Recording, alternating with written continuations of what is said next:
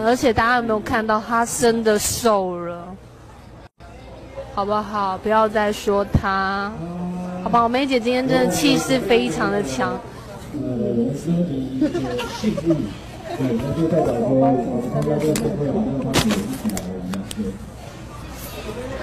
大家可以看到梅姐的气势吗？非常恐怖，只要她瞪向我们的镜头，我们都会有点好像镜头要破掉了的感觉。哇哦，今今天真的太惊喜了，因为原本没有要走红毯的张惠妹竟然出现了，而且还带着她的小侄女安娜一起来到金曲奖的现场。好希望今年就是小记者就私心想要她得，因为妹姐几乎每张都入围，但是拿奖的次数好像并不多。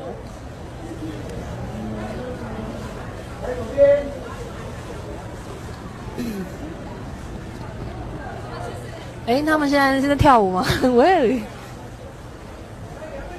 梅姐跟安娜是不是有点绅士？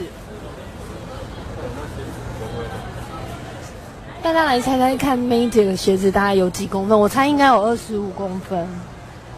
二十五公分有吗？你觉得她有没有二十五公分？还是二十？二十好，二十。哇！我现在还要来到那个访问区了，呜！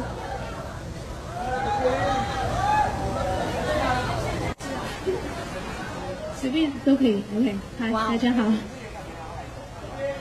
呃，对，就是，呃，因为今天呃，应该算是我已经休息很久了。然后其实我今天今天其实还蛮紧张的，因为太久没有跟大家见面，所以。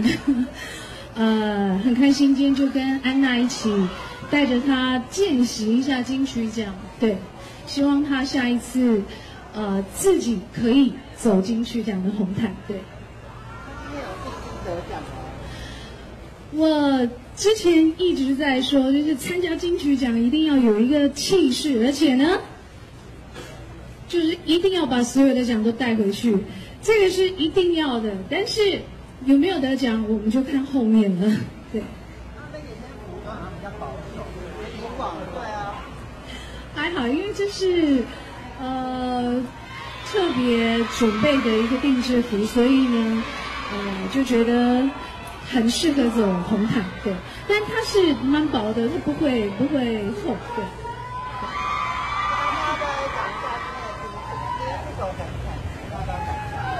其实还是很紧张，虽然对啊，大家还是会很紧张，但是今天就是先来练习走红毯，然后希望以后还有机会可以再走一次。谢谢，是很酷很酷，这是我的建议。一定会啊，一定会。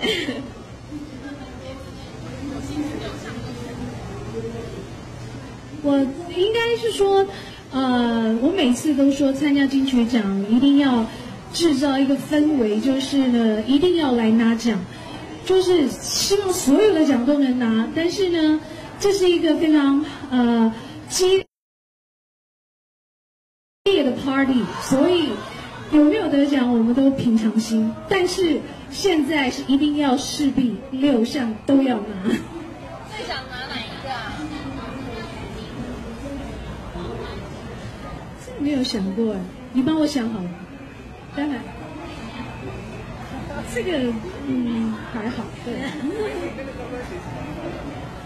这个专门搭配这件衣服，我也不晓得，要问造型师。对。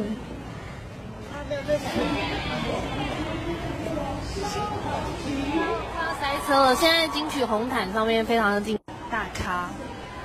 走上来，请守住我们的直播。哇哦，你看梅姐到哪里都是尖叫声。